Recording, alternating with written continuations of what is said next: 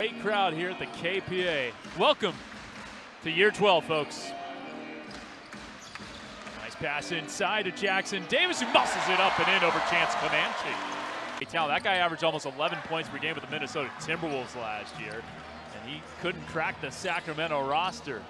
It's a cutting Jackson oh! Davis down Broadway, and welcome to the G, TJD. Start if you're Santa Cruz head coach Nicholas Kerr. The new head coach of the Sea Dubs. Ten guys have either played in an NBA regular season game or are currently on an NBA contract. Brandin Podziemski is one of those, and he's looking good. Meaningful production, and he's been getting some great comments from not only teammates but from the opposition as well. Yeah. In the lane, nicely done there by Jalen Noel.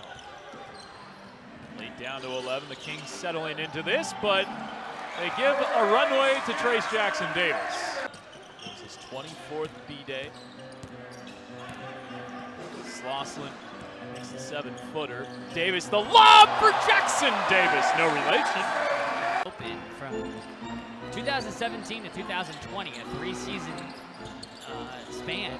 I averaged 13.7 points and 4.7 rebounds per game. That's Kinjo to Goodwin, just hit a three. That's inside the arc. That's that's good scouting report defense. Yeah. You chase him off the line. Ooh, what a pass by Kendrick Davis to Trayce, who beats everyone down the floor. Sec. Podziemski. Right into a high ball screen. Works out perfectly. And right into a lob for a dunk. Lead back to five. There's Pods. Nice bounce pass. And that's hammered home by Jackson Davis. Good spin move, Santos.